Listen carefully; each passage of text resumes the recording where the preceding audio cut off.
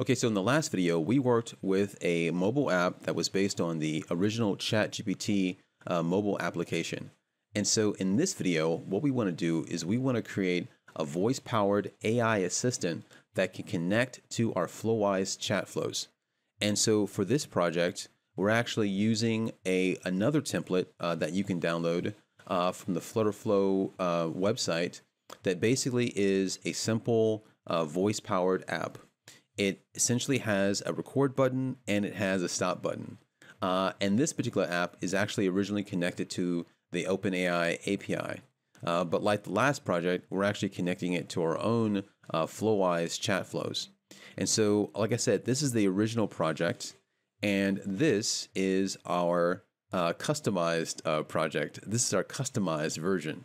And so it also has the um, record and the stop button. But like the previous app, we all wanted to connect it to different chat flows within Flowise. Uh, and so we have that here. And so this is actually going to connect to a few different uh, chat flows. Uh, we're going to show you that in a minute. And then we have our reset button uh, because sometimes the responses get a little long.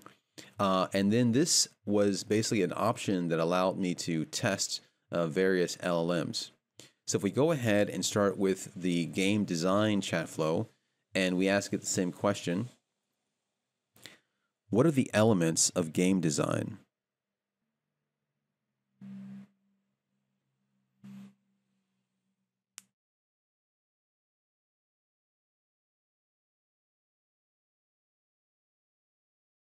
Here are the elements of game design. 1. Game mechanics, the rules and systems that govern gameplay. 2. Gameplay loop, the repetitive pattern of gameplay that keeps players engaged. 3. Level design, the creation of individual levels or missions that challenge players. 4. Story and narrative, the way the game tells its All right, so sometimes it takes a little while. Uh, this is where you want to actually make sure that you're connected to a, uh, a service that has faster uh, response times, uh, such as Groq or uh, Mistral does a pretty good job. But let's ask another question.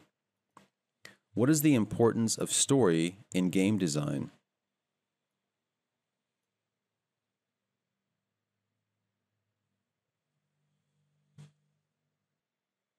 The importance of story in game design is multifaceted and can have a significant impact on the overall gaming experience. Here are some reasons why story is crucial in game design. Okay, so now let's go ahead and actually check out the uh, the Brave web search chat flow. And this is really cool because you can actually ask it questions based on recent events, you know, because it uses the Brave search API. So let's go ahead and ask what were some of the highlights at NVIDIA's GTC conference 2024?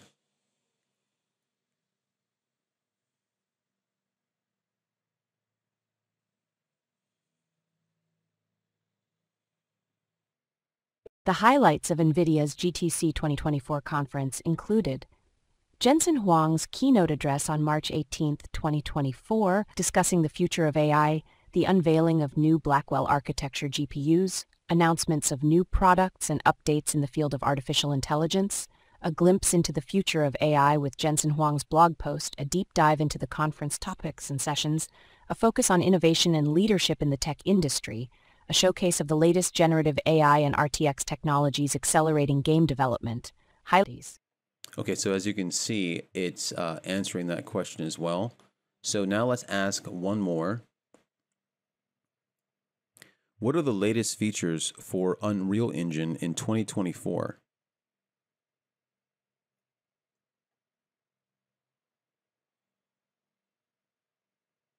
Based on the tool call output, here are some of the latest features for Unreal Engine in 2024.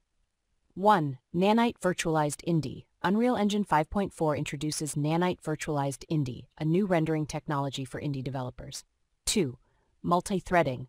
Unreal Engine 5.4 includes improved multi-threading support for better Okay, so that's the Brave web search, and I really love that feature because you can just, you know, you don't have to rely on embeddings uh, you don't have to rely on the you know the knowledge base uh, from the uh, the model.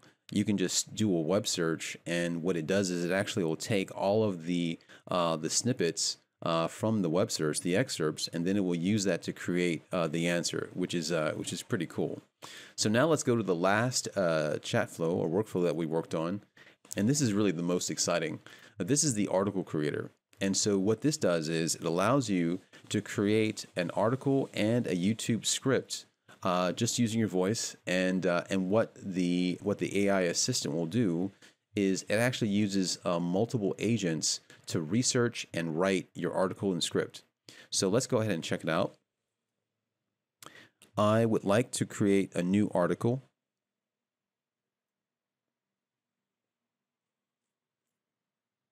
Of course, I'd be happy to help with that. Could you please provide the purpose or intent of the article and let me know if research is needed? Okay, so it's asking me what is the intent of the article and whether I need to do research. Uh, this particular assistant, you can request research or you can provide your own research. So I'd like to write an article about using Unreal Engine for uh, film development and special effects. I want to be able to understand how to get started using Unreal Engine in my film projects. Uh, and yes, research is needed.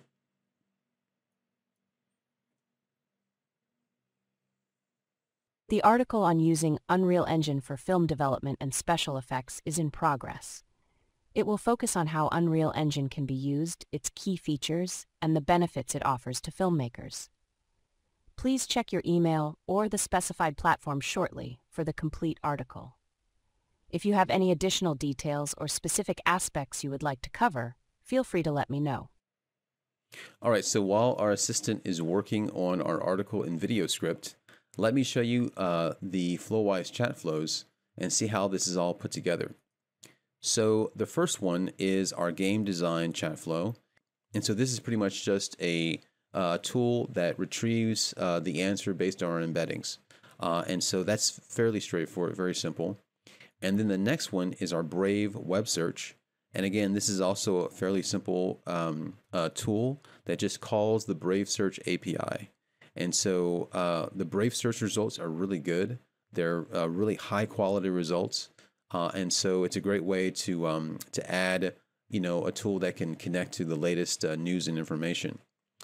And so the next one is our script creator. And this also calls a uh, another tool but in this case, we're actually using N8N to power this particular uh, chat flow. And so as you can see, we've been testing it here. Um, but uh, yeah, this is going to call the N8N workflow. And then uh, that on the back end, which you're going to see, is how everything works together. And then these are the individual uh, chat flows for our articles. So there's a little bit of um, interaction between different chat flows. You can actually use agents within N8N uh, to actually work together as well. So uh, this is the chat flow for the uh, blog article, and then this is the chat flow for the YouTube video script. And you know th- this gives you the opportunity to really work on and optimize like each element, so you can really create like a great product at the end. So let's go ahead and check out our N8N script, and let's check on our execution here and see where it's coming. And so it's actually already done, it seems. But what we're going to do is we're going to look at the, um, we're going to actually look at the workflow itself to show you how it all works. So what happens is, is that when your request comes in, it's going to contain your article plan or intent, you know, what you want to get out of the article, and it's going to include whether you need research. And so at this point, it's going to come to a sort of a decision point uh, when it comes to the research. And if you don't need research, what the AI is going to do is it's actually going to use uh, a Notion page in this case to get the links that we have provided to provide uh, the research to do the research. But if you do need research, what will happen is, is the entire workflow will instead of going here, it'll go here, and it will actually go and query another LLM, another uh, agent, uh, in this case using Mistral, and what this does is it actually takes your intent and it actually creates a question that it can use to do a web search. And this question is going to be based on your article plan here. Okay.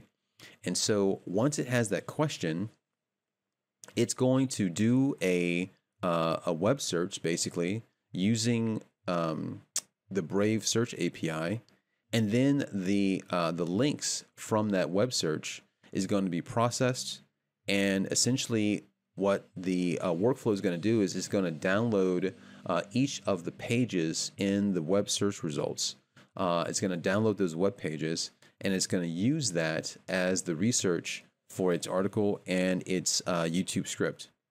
So if we zoom out here and we scroll to the right, so it extracts the HTML content from each of the pages. Uh, and then what it does is uh, it actually reduces some of the text. I found that this was helpful for kind of reducing some of the tokens that were used. I was kind of running up to the limit of my uh, my token context windows. Uh, but if you have another model, such as Microsoft's Phi model, it can actually take up to 128,000 tokens. Uh, and so we'll we'll actually try that uh, some other time. But uh, for this case, we're using Mistral, and Mistral has a context window of 32,000 tokens. And so if you're just looking at a single web page, uh, usually you don't have any issues. But in this case, uh, we're looking at 18 web pages. So uh, that creates a lot of text and it can easily overwhelm our, our models, uh, especially models that have like a, you know, a context window of like 32,000. Once we send the text to this uh, basic agent, what it will do is it'll actually summarize each and every HTML page uh, for our uh, our agent that does the article writing. All right, so it summarizes each page, and then those summaries get sent to our, our Flowise chat flow that actually writes the articles. Uh, that's what you saw here. Okay. And so once those articles and the, the video scripts are completed, it actually sends those to a WordPress uh, blog post and makes it in draft form. Uh, and then it also sends us an email saying that the task is done. So uh, as we already seen, uh, it looks like it already finished the task. So let's go ahead and check our WordPress and see what it did for us. So let's check out the first one. And so it looks like this one is, it looks like this one is the, I think this one is the video. Yes, this is the video one. This is the video script and it looks pretty good. And so now let's go ahead and check out the article.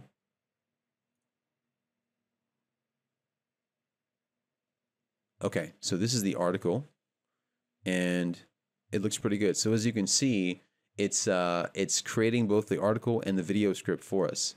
And by using uh, a Brave web search API, you're able to get a lot more research to create high quality content. So yeah, I really enjoyed this one, and there's so many different things that you can do to actually improve this uh, and make it even better. You know, one is by adjusting the context window here by changing and testing different models, uh, so you can actually accommodate for all of the text. Uh, and then the other improvement that you can make is actually in the templates themselves, uh, especially if you want to get a certain type of article or a certain type of script. Working with the individual prompt templates can really help you improve the uh, the output of your workflows. So as you can see, there's a variety of different ways that you can connect uh, your Flowise chat flows to your mobile apps uh, and also your web apps. Um, a lot of these uh, demos that we showed you, uh, you can actually download into your phone, uh, but because they work with Flutterflow, you can actually create web versions of them as well without really changing a whole lot, except the um, the actual screen layout. So go ahead and check this out, and I will see you in the next video.